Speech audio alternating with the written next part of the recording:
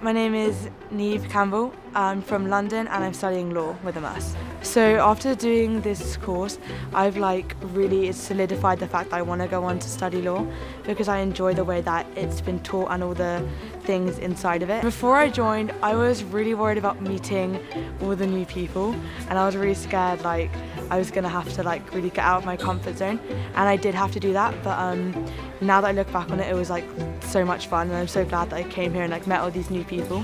You meet so many new friends and that was what I was scared for but it's worked out really well. The class is really small which I didn't expect it but it's really good because it means that we get to have like one-on-ones with our tutor and he's been helping us through our personal project.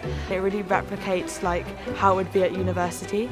It's kind of like, told me that that's what I want to do. When I applied to university I think that I'll definitely mention this and I'm going to mention obviously the fact that I got put in all these new experiences and we did so many activities and I met so many new people from all around the world.